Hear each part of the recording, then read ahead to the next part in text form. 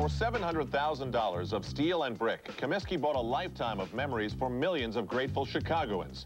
Players called it a pitcher's paradise, but hitters hated it. On Comiskey's orders, home plate faced the lake. This meant batters would have to hit with the wind in their face, which the old Roman thought would give his team a big home field advantage. The house that Charles built is the oldest of all the Major League ballparks and has stood tall through thick and thin.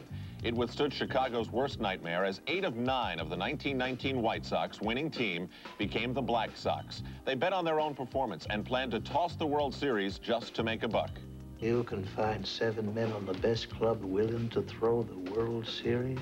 Come on, Joe! The truth is Joe ain't in. I ain't in. You want me? You don't want to be stupid, do you, Joe? Now, you just signed your name right there, Joe. What do you think of these players of yours now, Mr. Gleason? I think they're the greatest ball club I ever seen, period.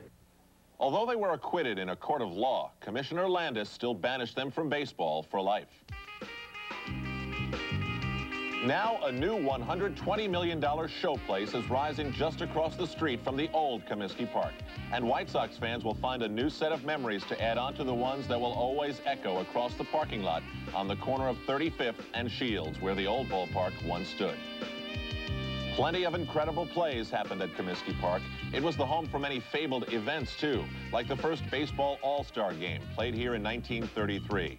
Heavyweight title fights were also a fixture here, as were the dozen of memorable Negro League all-star games that took place during the 30s and 40s.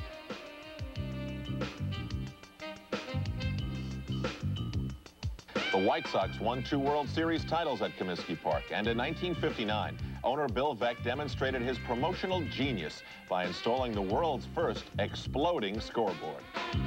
When Jerry Reinsdorf and Eddie Einhorn bought Comiskey Park in 1981 for $19 million, they didn't realize they had purchased a ballpark that was even in worse shape than their ball club was. By 1988, they had invested more than $20 million in the hopes of saving old Comiskey Park.